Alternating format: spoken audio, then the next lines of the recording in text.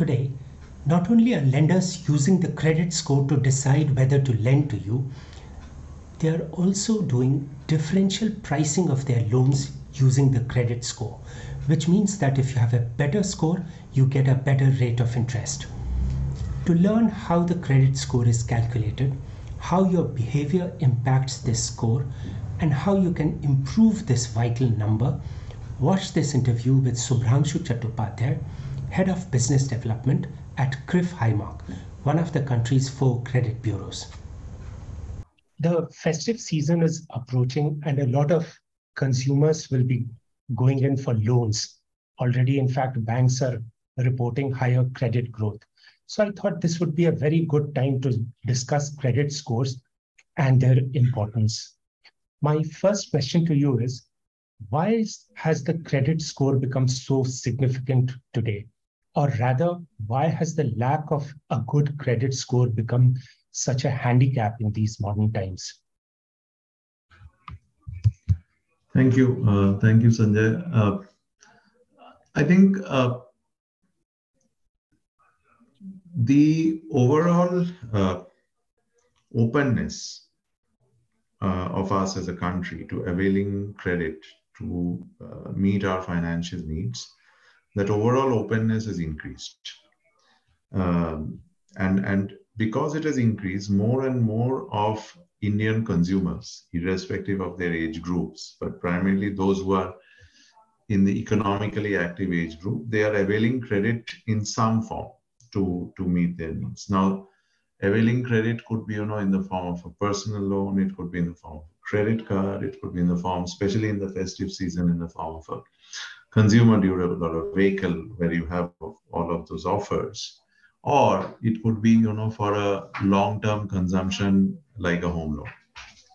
Now irrespective of what kind of credit someone is taking um, the lender to whom as a consumer we approach for a loan one of the things that they're going to look at is the credit score uh, while while processing the request to grant a loan or what is called as a loan application. That is why the credit score is so important because it is a part of the credit underwriting process of every lender today, irrespective of whether you are taking a loan for your personal consumption, whether you are taking a loan on behalf of your enterprise, uh, whether you are taking a loan solely by yourself or whether you are taking a loan along with someone as a co-applicant the, the lenders are going to look at the credit score of all the applicants on the application form and take a decision based on the credit score amongst other things. Does the credit so, score? Yes, sorry, please go ahead. So, what and why is this so important? Why is it a part of the lender's application? Because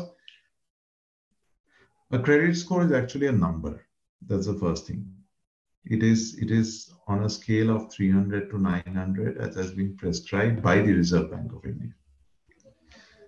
It is also a reflection of what you have done in the past while availing credit.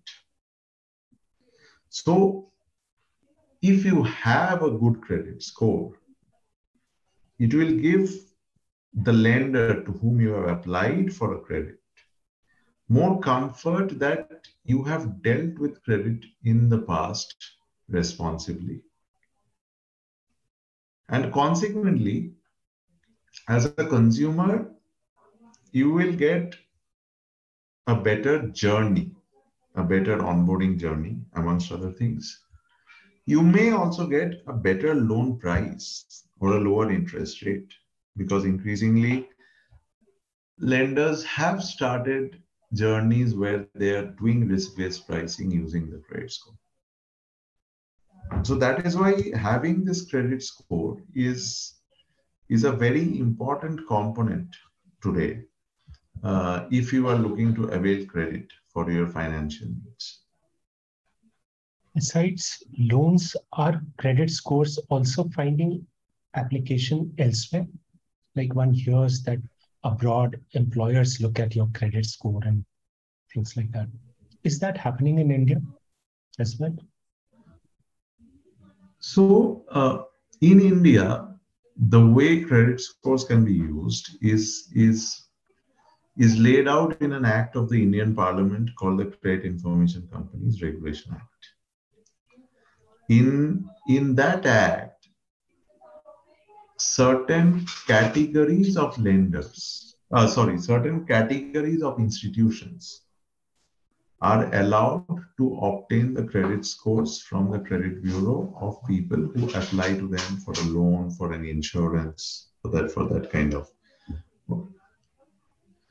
Uh, so the institutional users of the credit score will always be what the act allows as a regulation uh, to be to be used.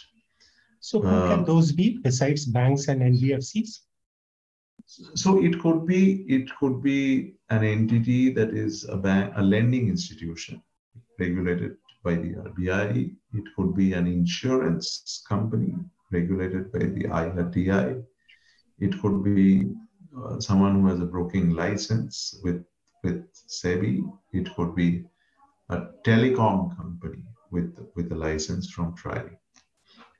broadly, these are the these are the four categories who can who can use the credit score on an institutional basis. Now, borrowers are advised to keep a close eye on their credit score. How frequently do you think they should monitor it? So let me um, let me start by uh, actually saying that the Reserve Bank has made a provision where every borrower can get their free full credit report or the FFCR from each of the credit bureaus once a year. So it allows a borrower the ability to access their credit score at no cost once a year from each of the bureaus and there are four credit bureaus in India. All of them have the provision on their website to allow anyone who approaches them through their website to get a free full credit report. So, firstly, everyone who has a credit line should make use of this and take their own credit report at least once a year. Beyond this, it is always advisable that as a borrower, when we do our financial planning, if we see a need to avail credit in the near future, in the, in the immediate medium term, then even if we need to take a paid credit report, we should do that now so that we, as a borrower, there are no surprises when they are actually applying for the credit application. And then the application gets declined because of something that's there in the credit report. So,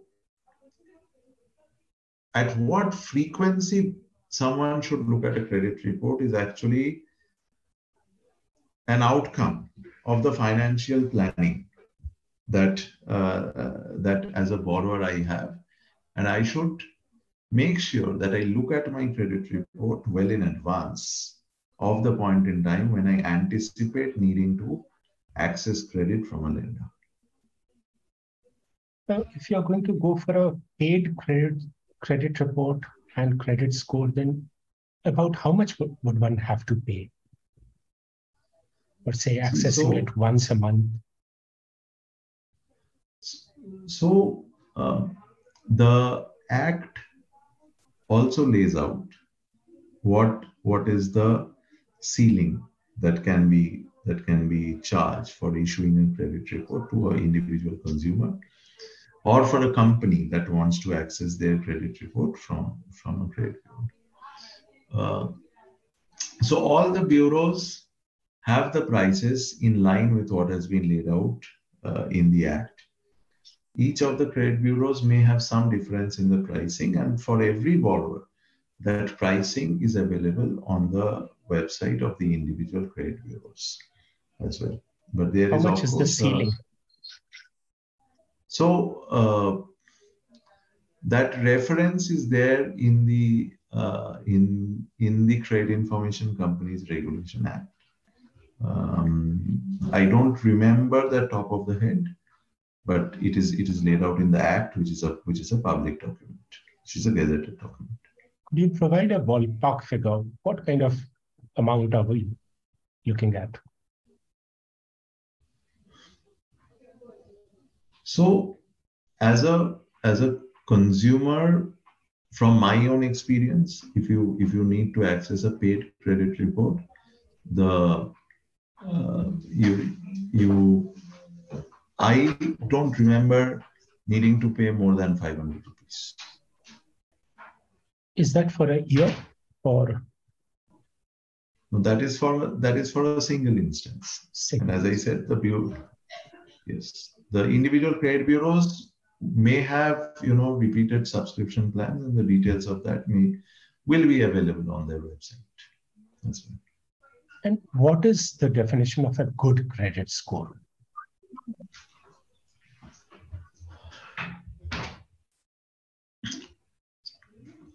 So, to answer this question, let me explain what is the credit score.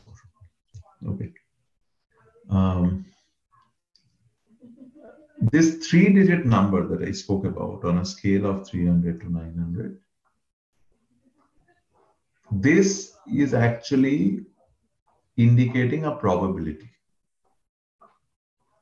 It is indicating the probability that as a borrower, I will default or I will become NPA. Right. Now, each of the credit bureaus will have their own algorithms through which they are arriving at the credit score. Those algorithms directionally and principally may look at the same categories of information, but those algorithms will not be, uh, you know, the same across all the four credit bureaus. So the way lenders look at it is to say, what is an acceptable level of risk that as a lender I am willing to operate at? And what is the credit score of credit bureau A that allows me to operate at that risk versus what is the credit score of credit bureau B that allows me to operate at that risk?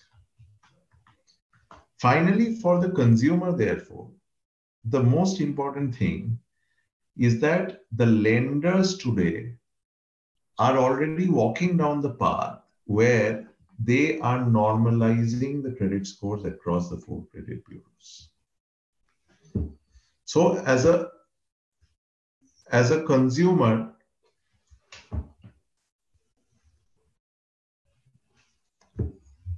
I should not be worried if in a particular bureau my credit report is clean and I have a score of 750 versus in another credit bureau, my credit report is clean and I have a score of 700. Because the lenders are doing that exercise that is saying that 700 on this credit bureau in performance is equal to 750 of this credit bureau. As a consumer, what I should give my energy, my focus on when I pull my credit report is to see is the detail accurate in the credit report. So, are all my credit facilities available? Is the repayment history on those credit facilities accurate and updated? Are there some KYCs that are reported in my name which actually don't belong to me? Are there some telephone numbers, some addresses that are reported in the credit report that actually don't belong to me? Because all of these are the raw data basis which the credit score is appearing on the credit report. So as a, as a borrower, as a consumer, my focus should not be to say that, okay, I am at 750, but I think 800 is a good credit score. Because 750 or 800 or 700 is an outcome of the accuracy and the completeness of the raw data, that is the report. The lenders will take care, irrespective of whatever credit bureau they are using for decisioning, the lenders will take care to say, okay, if you are, as I said, 700 on this credit bureau, it means you are same as 750 on another credit bureau. So that is something new that I have learned today because mostly one is told that 750 is regarded as a good credit score. But you're saying that because of the way credit scores are calculated across bureaus, they can be different. So one should not Absolutely. worry unnecessarily. Now, if one has a very poor credit score, what are some of the steps one can take to improve it? Okay. So, so Mr. Singh, I think the first thing, if one should, when one sees a poor credit score, is actually to look at the credit report in time uh, in time meaning when they have time to look at it in detail rather than reacting immediately and saying why is my score so low? Why i say this? As i said the credit score is an algorithm that is throwing out a three digit number based on the data that is there in the credit report. So they should see is the data accurate? So, you know, is a credit card showing up which is issued to me, which I have never activated? And that is where a, a lot of uh, missed payments are showing.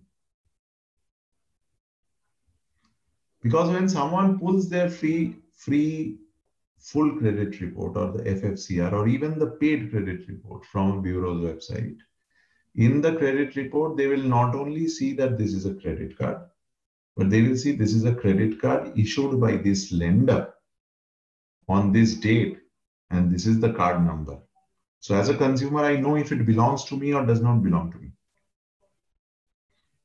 So if there are inaccuracies, you know, either in terms of a credit line appearing in my credit report which does not belong to me, or I have actually made a payment but that is not being reflected, they should raise a dispute with the credit bureau from which they have pulled the report and flag that dispute.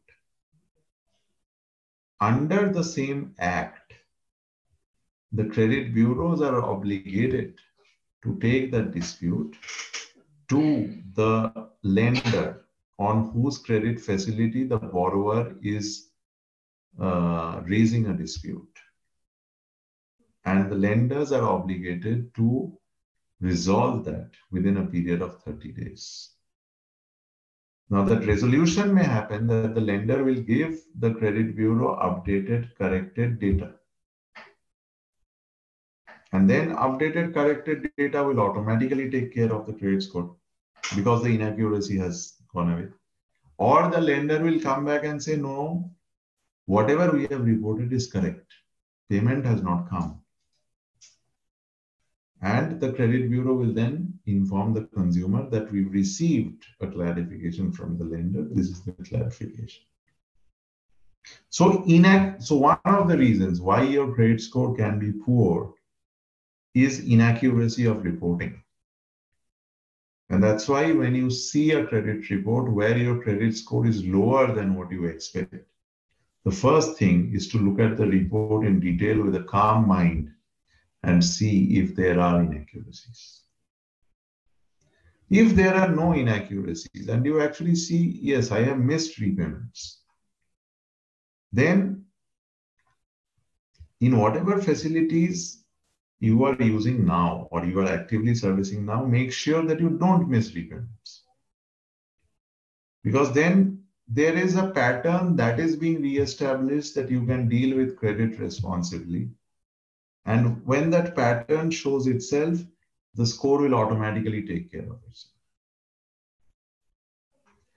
It may also happen that your credit score is a little lower because you have taken a lot of loans within a short period of time.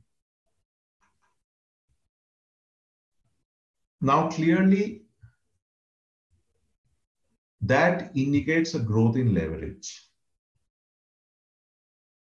Now, if the consumer is again able to demonstrate the ability to repay that increased leverage or fulfill that increased obligation over a period of time, the credit score will autocorrect. So if there is a missed repayment, if the credit score is actually low because a repayment has not happened, and there are active and actively loans are being serviced now, the advice is that make sure you continue servicing them in time because then that pattern is being established which will autocorrect. If the score is low because there's been a growth in leverage, demonstrate in the short term, in the immediate medium term, that you can fulfill that increased obligation, the score will autocorrect. If it is because of an inaccuracy, make use of the dispute mechanisms available. Reach out to the credit bureaus because then the credit bureau and the lender will get into the act because they're obligated to do so to resolve that. On the CRIF High Mark website, we have a section which addresses frequently asked questions on the credit report, and we also have a section for grievance redressal where the details through which consumers can reach out to CRIF High Mark it is very clearly laid out in that sense. Now, in case of a credit card, does the extent to which you use the credit card, say you are allowed to borrow up to 100, use up to say 100 rupees, if you use up to 80 or 90 rupees, does that so affect your credit score? High usage? See, again, as I as I said, the score is a probabilistic algorithm, right? So let's say Sanjay and Subhrangshu are two people whose credit report has been pulled. And both of us are using 90 out of allowed 100 on the credit card in August 2022. The algorithm is going to say, okay, for Sanjay, is this an outlier behavior? Or is this a pattern? And it's going to ask the same question for Subhrangshu. Is this an outlier behavior or is this a pattern?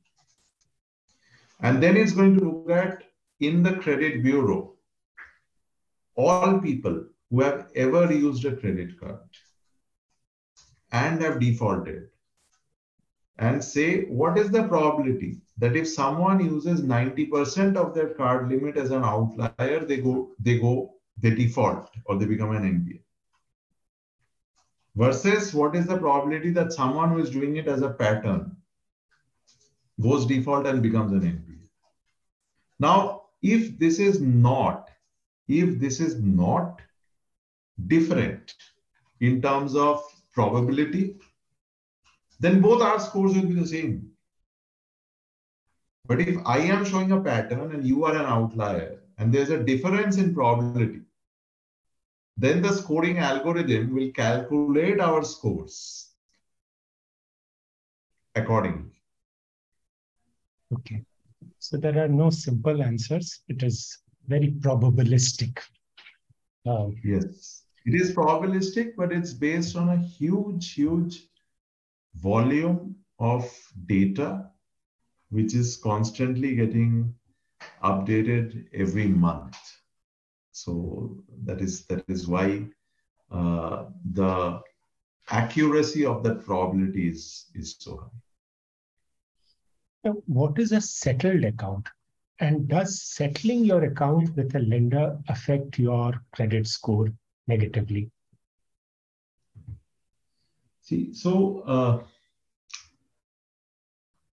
so a settlement will typically happen when a borrower is unable to fulfill their obligation to pay the complete outstanding on the loan. In that case, the borrower may approach the lender and present their case. And the lender may, after, a, after due consideration and availing all the mechanisms that are allowed by the Reserve Bank, opt for a settlement. But what a settlement effectively means from the borrower standpoint is that the borrower has been unable, despite the best efforts of the lender, to fulfill the complete obligation of paying the outstanding balance of the loan and has paid a part of it. This will then be reported by the lender to the credit bureau as an account that was settled with you. Behaviorally, it's a different risk profile because I have not been able to pay my full amount. And therefore, in the short term, the credit score will acknowledge this differentiated risk and it will have a negative impact. But again, if the borrower on their loans that they're currently servicing or a loan that they take after a while is able to demonstrate their ability to make full payments in time, then over a period of time, the score will autocorrect. Therefore, the advice from you know taking care of your own credit score standpoint to to a borrower is use a settlement only as a last resort is it advisable to go back to that lender with with, with whom you settled uh, the account and actually make payments in full is that advisable and will that help your credit score? Uh, Mr. Singh, I think, you know, uh, it will be left to the policy mechanisms of the individual lenders to, to see if they facilitate this kind of this kind of you know exactly. reconciliation in, in in that sense. Now, would you have any words of advice for borrowers in this festive season vis-a-vis borrowing or their credit scores? Any final words of advice? Um, so, in my view, you know, irrespective of the festive season or not festive season, we need to plan and list out our expenses. Now,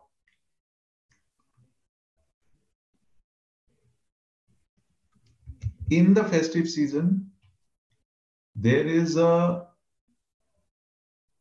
greater availability of offers on certain products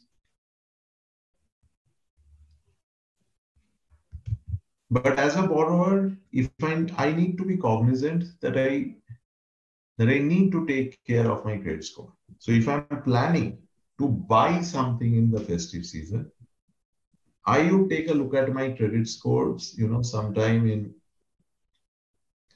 in May or June to make sure that it is in order so that I don't get a surprise when the festive season comes. Secondly, unless I absolutely need to, I would distribute my buying needs over multiple festive seasons. Because if I buy some things in the festive season, it will mean that there is an increased obligation to pay. I will create a repayment record on my increased obligations. Again, take care of my credit score and fulfill some of the incremental buying needs in my next festive season. Uh, separation of discretionary versus mandatory buying is very important especially if the approach to buy is 100% use credit. Uh, that is that is there. Um, and it is very important for the consumers to study the offers and make an educated decision about which is the offer that I am availing. Uh, because we are generally have a lot of choices in this time window. The choices are attractive, but important to make an uh, educated guess, uh, not guess, educated decision on, on which is the offer that I want to avail. Thank you, Mr. Chattopadhyay. This has been a very enlightening conversation, and I'm sure our viewers will benefit immensely from it and from your words of wisdom. Uh, and I'm sure they will take loans slightly more wisely after watching this video.